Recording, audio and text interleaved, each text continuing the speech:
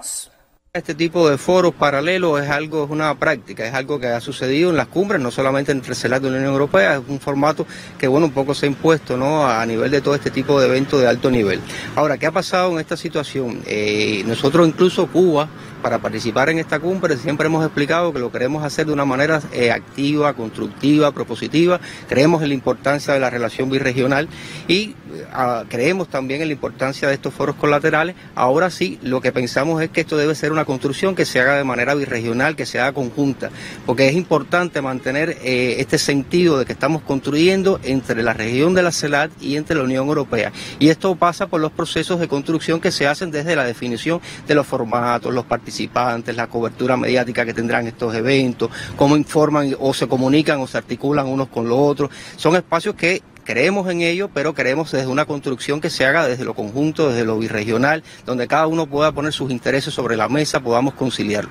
Y lamentablemente la génesis de esta cumbre en particular no ha sido así. Hemos trasladado este tipo de preocupación, tanto lo hemos compartido con nuestros socios en la CELAC, como también lo hemos trasladado a la Unión Europea. Tenemos las declaraciones de nuestro ministro hace un par de días, donde bueno expresamos nuestras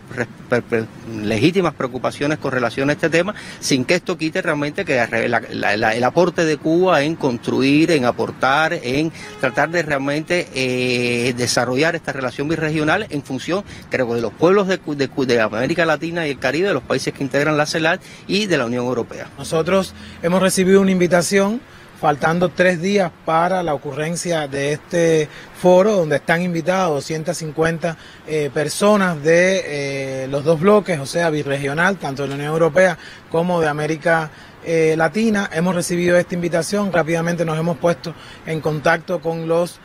organizadores. Hay que significar que el día que nos invitaron tuvimos que hacer una aplicación telemática, el cual por problemas técnicos de eh, los organizadores no pudimos complementar porque eh, la página no podíamos acceder a ella, luego pudimos acceder, finalmente estamos inscritos, pero eh, los organizadores frente a nuestra insistencia de poder insertarnos en los disímiles talleres que van a tener lugar en el marco, dentro del marco de este foro, nos han dado como respuesta la negativa, teniendo en cuenta de que efectivamente es muy tarde y la lista de oradores y participantes está cerrada.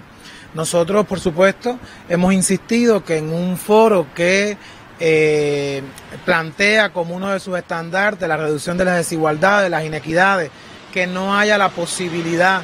de que eh, todas las organizaciones que vayamos a participar en igualdad de condiciones podamos expresar eh, nuestras eh, opiniones, nuestras realidades, los retos, compartir sinergias, digamos, participar de diferentes enfoques de, de, las diferentes y variadas organizaciones que van a estar ahí, por supuesto, que no es del todo justo y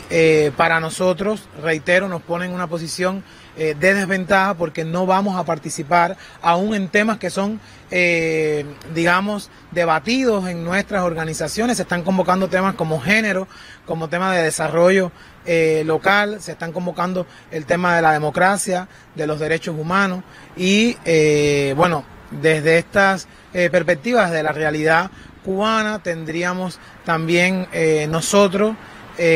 cosas que decir, muchas cosas que decir y por supuesto eh, compartir eh, este universo de, elementos y los retos que también como país y como parte de una región eh, tenemos.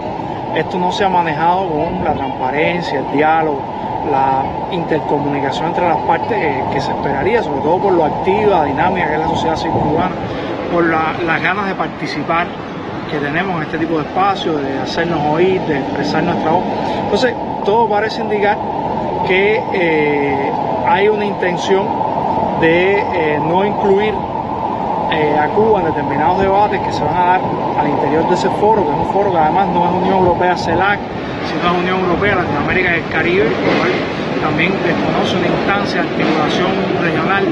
importantísima para América Latina, como es la comunidad de Estados latinoamericanos y caribeños,